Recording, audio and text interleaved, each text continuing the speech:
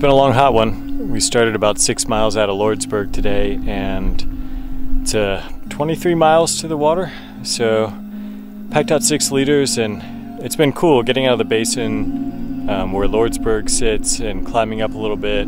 Uh, finally back into trees as you can see behind me. Um, yeah, it's just cool to watch the landscape change on the way to Silver City. Old abandoned mine shaft. Bar it off. It's cool though.